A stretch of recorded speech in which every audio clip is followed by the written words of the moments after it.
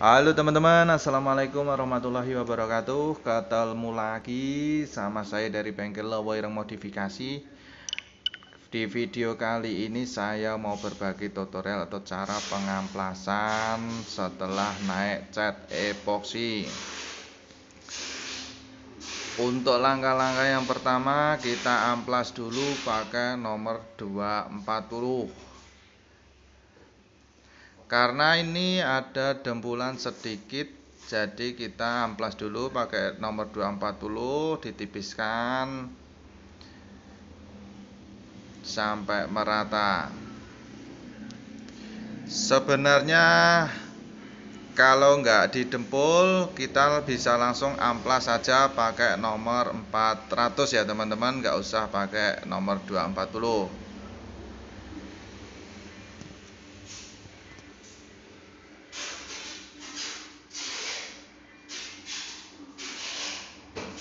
kita amplas sampai halus sampai merata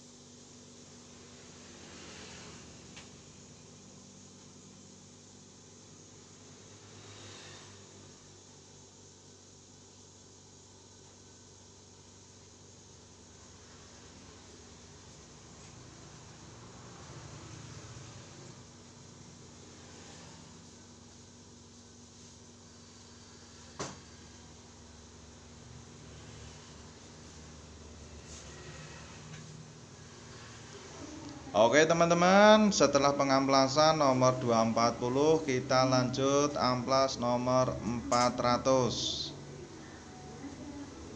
kita amplas sampai benar-benar halus.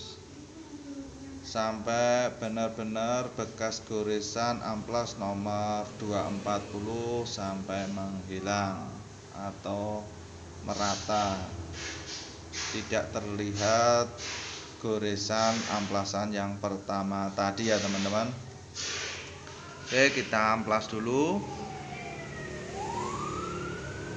Sampai benar-benar halus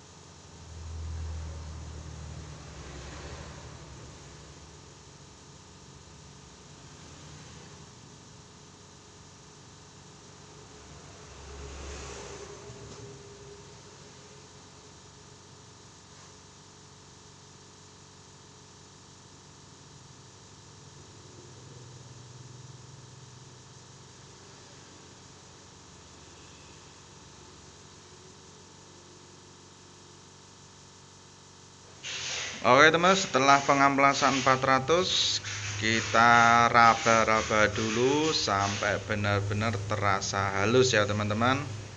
Oke lanjut ke body panel yang selanjutnya. Proses pertama tetap sama ya teman-teman. Kita amplas dulu pakai 240 karena ini ada dempulan sedikit.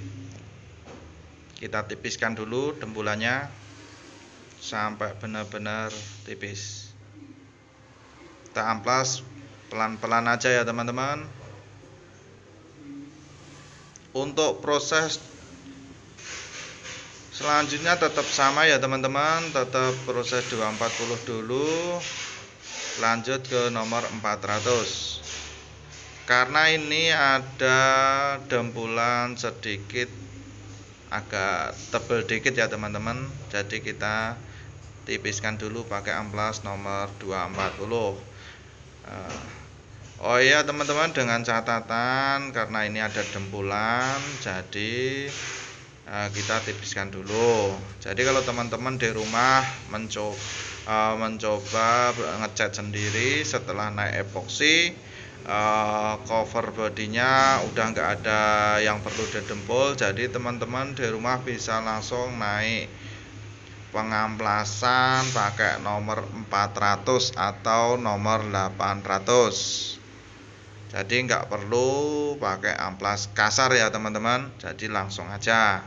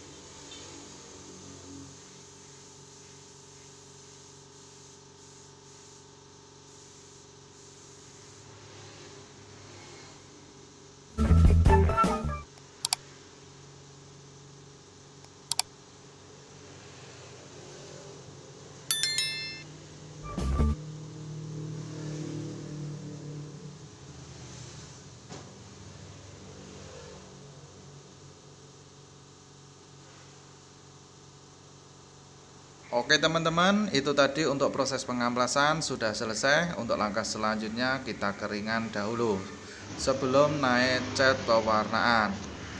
Oke, terima kasih ya teman-teman. Semoga video ini bermanfaat. Wassalamualaikum warahmatullahi wabarakatuh.